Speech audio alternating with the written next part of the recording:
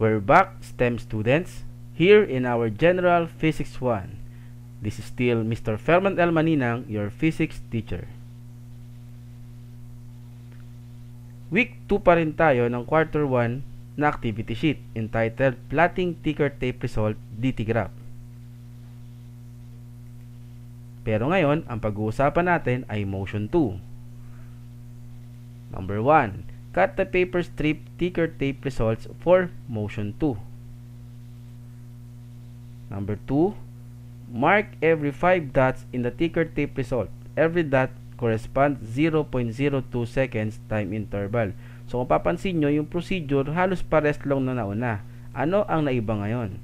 Ang strip for motion 2 is these 3 strips. So kung papansin nyo, iba na ang itsura niya kumpara sa motion 1 may nagbabago sa distance between the dots. So, we are just assuming that the motion is to the right. Okay, and then you will connect this strip B to the end of strip A. So, left going to right and then you will connect B and then at the end of B you will connect C. Number 3, Label each mark with 1, 2, 3, and so on. Cut, cut the strips on the marks to make several strips. Make sure that they are arranged from lowest label to highest label. Paste the strips vertical as shown to the right. So, kung mapansin nyo, tulad ng unang activity, sa upper right corner, magsisimula yung susunod na strip. So, ito yung strip natin. So, 1, 2, 3, 4, 5. So, may mark. 1, 2, 3, 4, 5. May mark ulit. And then, meron nakadikit dito. So, will, you will count 5 again. So, and so on yan. Kung ilan yung abutin nyo. So, this is our strip 1. So, wag kalimutan, dapat naka-label. Lalo na ngayon, dahil iba-iba na ang strip natin. 2, and 3. Hindi ganito kaigsi yan ha. May nakadikit yan dyan. Okay. And then this is our strip 1. This is our strip 2. And so on. Kasi marami-raming kakailanganin natin. So, pag dinikit natin yan, ganito ang itsura niya. So, ito yung strip na maigsi. Yung 1. And then 2, 3, and then 4. So, adjust nyo na lang kasi kung bibilangin nyo yung mga dots niyan, it is more than 5. 5 dots lang ang kailangan natin. Number 6. Measure the lengths of the individual strips and fill up the table on the right side. So, papansin nyo kasi iba-iba na yung kanilang mga length.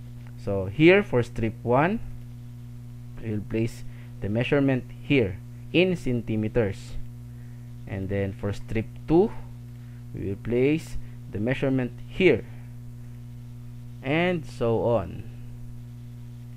So, ilang strips yung mabuo nyo. Number 7, determine the time for each strip by multiplying 0.02 second to the number of dots within the strips. So, kung papansin nyo, lima yung dots within the strip, multiplying it to 0.02, you will have 0.1. And since pare-parehas naman silang lima-limang dots, pare-parehas lang ang makukuha nating time interval here, which is 0.1 second. So, yan kasi gagamitin mo multiplier.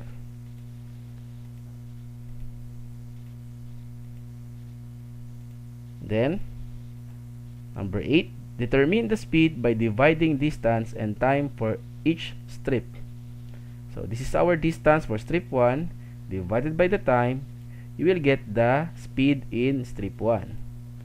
For strip 2, distance in centimeters divided by the time.